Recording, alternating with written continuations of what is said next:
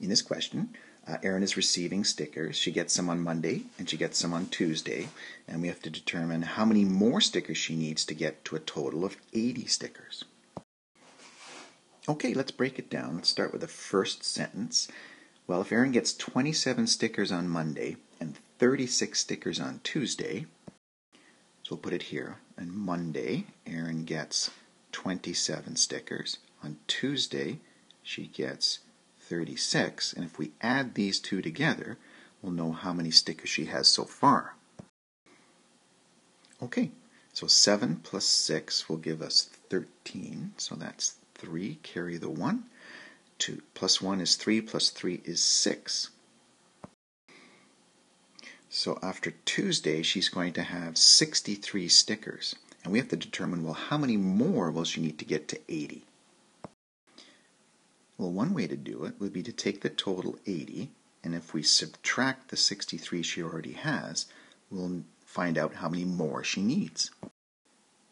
So let's do this subtraction. 3 from 0 we can't do, so we've got to borrow from the 8.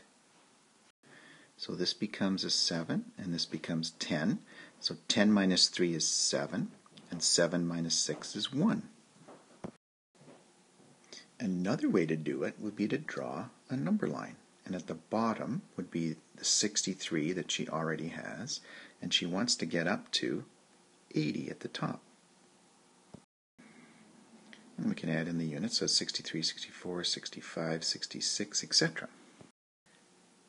So here's our number line, and we know that Erin already has 63 stickers. We'll put a dot at 63 at the bottom and then we'll count how many steps it takes us to get up to 80. So let's go ahead and do that. We'll go 1, 2, 3, 4, 5, 6, 7, 8, 9, 10, 11, 12, 13, 14, 15, 16, 17 steps to get up to 80.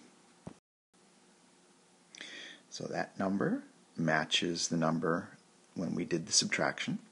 So therefore, we're pretty confident that she's going to need 17 more stickers to get up to 80.